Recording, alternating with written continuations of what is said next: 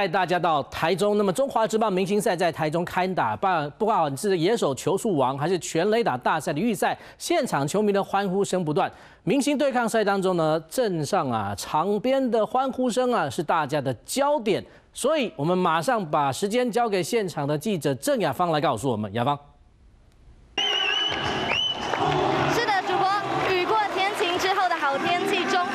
明星赛总算是在洲际棒球场登场了，近乎满场的球迷除了期待球星的表演之外，五队女孩他们的大合体也是焦点哦。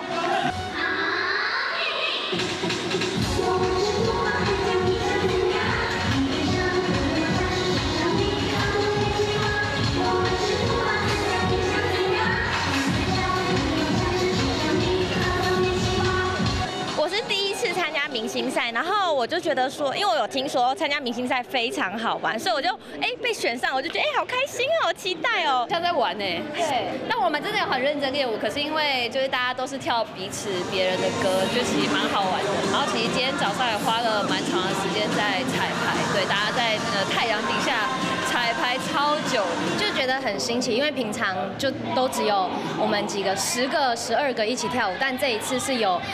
五十位一起跳，然后就觉得很酷，就是就是很像大家在玩乐那种感觉。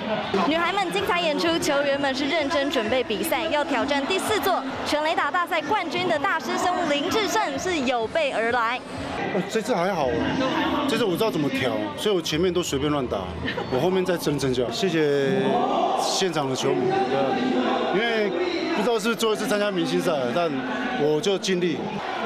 球星女孩一次满足，社味十足的中职明星赛。更多丰富的比赛内容，记得持续锁定华视的转播。我们把时间交还给棚内。我是李文，想要关注体育的朋友们，记得收看五二动起来，然后还要订阅我们的 YouTube 频道，赶快按赞、订阅、开启小铃铛。